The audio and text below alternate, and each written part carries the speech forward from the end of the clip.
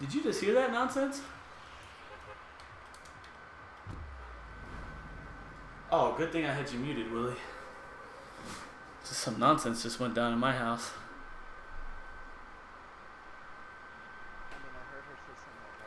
Yeah.